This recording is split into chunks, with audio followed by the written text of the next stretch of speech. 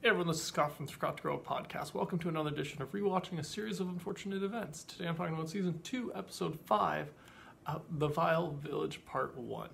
Uh, so I just finished rewatching this episode and I really enjoyed this episode because I remember the book a lot, probably because it was one of the last books I read in this series, but I really enjoyed this episode as well. We get a heavy dose of Jacques Snicket in this episode, and that's for some obvious reasons because he um, gets murdered in it, which is a very sad occurrence for me because I really enjoyed his character, particularly in the show played by Nathan Fillion.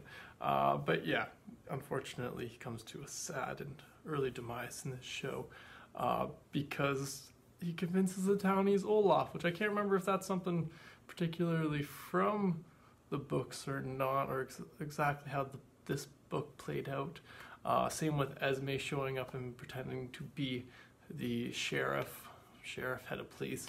Um, so that yeah, so those different parts I'm not really remembering exactly about the book, but the parts I do remember about the book is you know fainting Hector, the Council of Elders, the fact that the VFD of this town stands for Village of Foul Devotees, which uh, granted I had to wait till the show told me it, but then that made sense. I remember that from the book. I remember the you know the um, hot air balloon I believe was in the books too, but I might be wrong about that. Uh, but yeah, there was a lot of cool elements about this episode. Some of the other things I wrote down. Uh, Snicket confronts uh, Olaf one point, but then he makes the mistake of not checking if the police was, um, you know, actually the police, and ends up being Esme. So that was a little unfortunate. Again, Olaf in a disguise.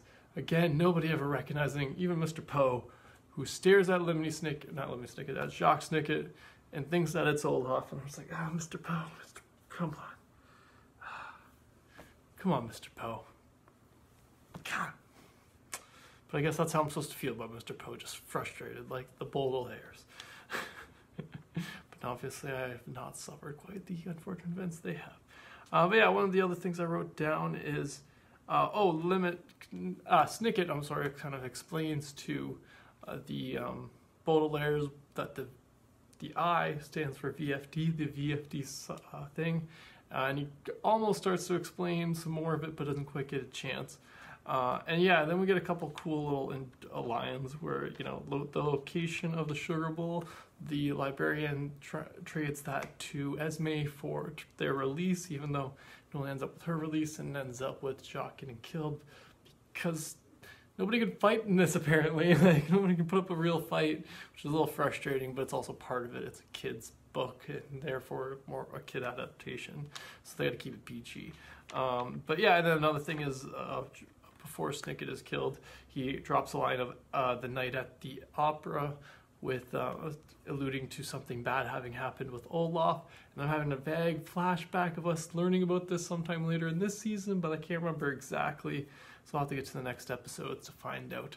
Uh, but yeah, that's pretty much everything I've written down for this episode in particular. I'm next excited to get on to the next episode, to get on to the second half of this uh, book and see what else they had in store for us. But be sure to let me know what I may have gotten wrong about the connection between this episode and the book, or anything from the books that might have stuck out in this episode that I might have missed, and anything that you might have liked about this episode. Uh, but thanks again for joining me today, and have a good one.